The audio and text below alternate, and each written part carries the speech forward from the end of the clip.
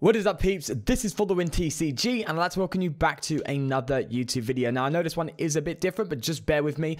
It's quite interesting to say the very least. So you're probably wondering what exactly is the bug. Uh, well, I will get into that, but it's kind of a funny story as to the discovery of it. Um, by the way, I'm not going to claim that, you know, uh, me or, uh, well, Mark, who I'm going to bring up in a second, was the ones who discovered the bug. It's probably been discovered by a few other people, but I've not seen any videos on it so far. So I did want to make a video and just get it out there uh, whilst we can, um, just to try and get it fixed. But anyway, uh, the story behind it, uh, me and Giraffe Nick Mark, um, who's another great YouTuber, um, we was uh, playing. Ironically, we didn't actually plan to play each other. We were just on the versus ladder and came up against each other.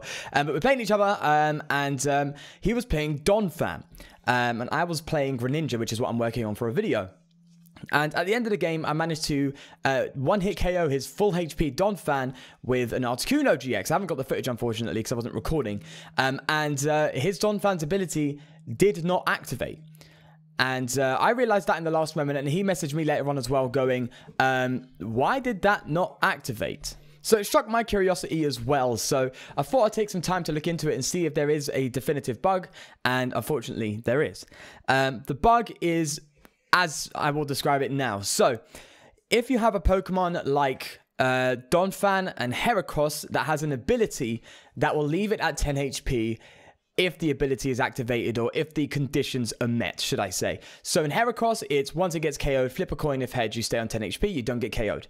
Donphan is if it has full HP and it gets one shot, it will go down to 10 HP rather than getting KO'd. That is the, so basically it's the 10 HP with an extra condition, right? Let's just describe it as that for now. So the weird bug that um, I actually discovered when recording, you'll see it here, is as soon as I actually, let's say, I think I did it with Heracross first. As soon as my Heracross got knocked out and I hit heads, the opponent went down to 10 HP. That makes no sense at all. And that's that's what happened. I was a bit confused by that. I thought, huh.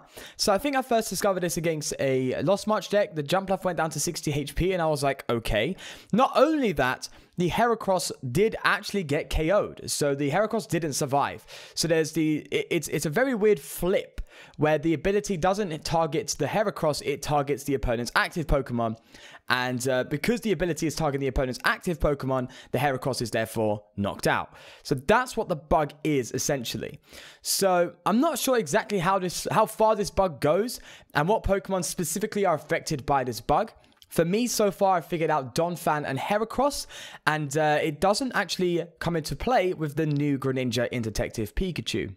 Now, there are some other questions like there's a Skuntank that has an attack with an effect. I haven't actually had the time to be able to explore that, so it may affect that, but I don't know if it's specifically on an ability that requires the condition to be met that leaves it at 10 HP or if it's an effect. So I'm not 100% sure just yet, but this is technically just scratching the surface. It's a bit crazy though, now that I think about it. Um, speaking of, I did do a live stream yesterday, um, or the day before, depends when this video goes up, um, looking into it and exploring this bug a bit more. And um, yeah, it's it's definitely something that exists, and it's definitely something that is a problem. Um, and uh, well, I'm going to show you some footage now of uh, what I was going through in order to test this and kind of figure out the deck. So uh, when I did play Mark, um, he mentioned that maybe what triggers the bug is damage to the bench, right? So, because uh, that's what happened in our game. So the first thing I did was build a deck um, that is based on getting everything out quickly and included Rainbow Energy to add damage to the bench. Um, I made a deck for both Heracross and Donphan. Uh, don't ask why I'm using Cross Energy in the Donphan deck. It wasn't meant to attack, it was just a test leading on to my point there that these are not meant to be good decks. Obviously, they're designed to test the bug. So, yeah. Now, I did want to take a quick moment to showcase Donphan. Um, when I was playing this game, I knew it was working with Heracross, and I thought, okay, considering that we originally realized this issue with Donphan when I was playing against Mark, I thought, why not throw Donphan and try it out myself to see if it's actually the case. Um, and again, I was under the impression that the damage on the bench would be what activated it, so um, I put damage on the Phanpy, and I kind of realized as well midway from playing this, I was like, hang on, if I'm putting Rainbow Energy and attaching it to a Donphan, aren't I negating its ability? So I didn't realize that at the time, but regardless, we had it here, um, and I just wanted to see if it did work with Donphan as well as Heracross. And if it did, it could be even more explo- exploitable, unfortunately, um, considering that you don't need to flip a coin and hit heads for it. It can be guaranteed so long as your Donphan is one shot and has full HP, um, which is quite easier to work around with things like max potions. But before we did get into that semantics, I just wanted to show you here, it does also work with the Donphan. And um, it leaves the Tapu Koko at 160 HP. Um, when, let's say, if I had a Shrine in play, uh, Shrine in play, sorry, the Koko would go down. So kind of seeing how this is now something that could be exploited. So as you can see there, Koko goes straight to 160. It's just crazy. Um, this shouldn't be happening, not at all, but it is, and it's a problem. And I'm about to show you um, in a second, actually, how it can be exploited and how devastating it could actually be. So upon discovering the bug, um, I thought, hmm, there's a potential for a one-hit KO combo here, um, technically speaking. Um, and let me briefly explain. If you had a Poison Barb on the Pokemon or a Shrine in play for GX and EX Pokemon, if your opponent had them in play, um, every time a Donphan was one-shot with full HP, the opponent's Pokemon will go down period. As long as you had a poison barb in play or for GXEX Shrine of Punishment. So think of like the new Beedrill. It's basically that, but when they attack. Uh, this also works with Heracross, but of course it's less consistent because you need to heads on the coin flip of course. Um, but yeah, with with figuring that out, um, I decided to see if this bug is something that can be exploited. Uh, which I want to make clear: you should not exploit this bug. It is winning the game in an unfair manner. It's only going to ruin the experience of people playing the game. So don't do it. It's just not a good thing. It's cheap, um, and I only did it just to see if this is something that can be done, um, and to help us better understand how serious the uh, bug is or potentially could be at that time. Um, but with that said, I built a deck that is not particularly for testing, but rather designed to use this exploit and designed to try and win. So I added poison barbs and shrines to see if this can be used, and unfortunately, it can. So I wanted to start off by showing you the Heracross and uh, showing you how it has come into effect here. So you can pretty much see it already by just looking at the screen, how things are about to unfold. Now I just want to make one thing clear. The deck that I'm using in this clip isn't actually the deck I showed you just a second ago. I started to realize that the Survivors were kind of pointless uh, because, well, if we hit the combo, then it doesn't matter how much poison they take. They only need to take 10 damage. So I, remo I removed the Survivors, but um, this is the clip I got and I wanted to show you. And um, I just want to show you how it can be used up in this way and explain to you why it's a bad thing. So he does Shadow Impact. I do end up flipping the heads with the um, Heracross. And then bang, you can see it there, goes down to 120 HP. Poison is activated.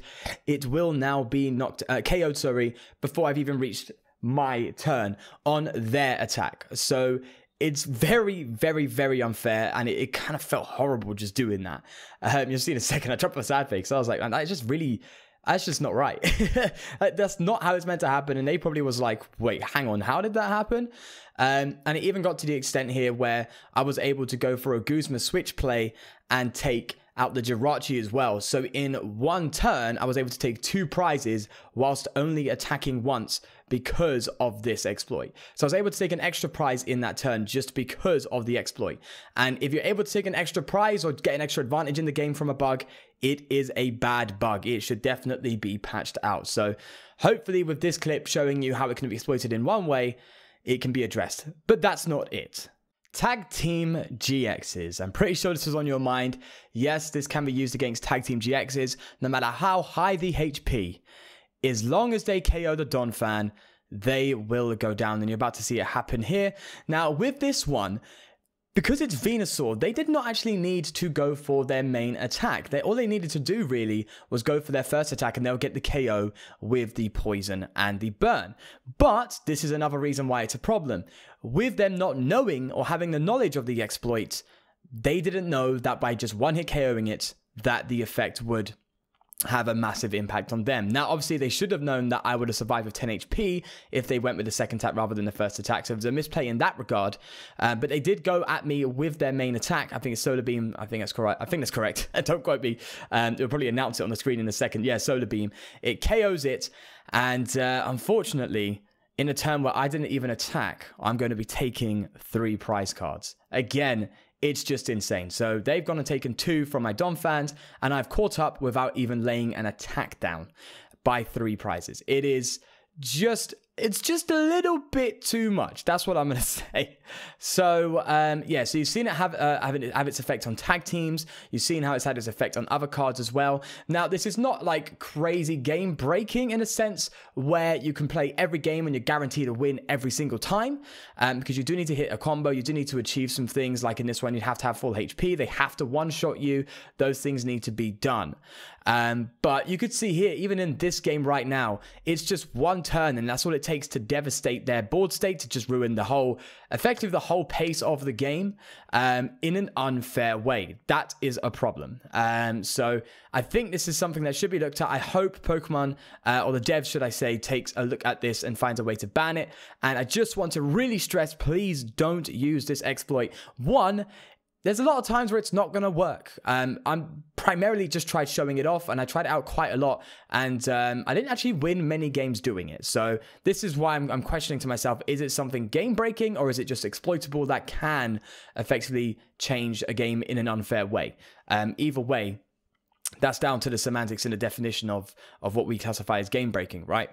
Um, but yeah, with that said, just don't do it. It's it's there's no reason to do it. It ruins the fun sometimes, and uh, yeah, it's it's not a good idea. But regardless, Pokemon, please fix.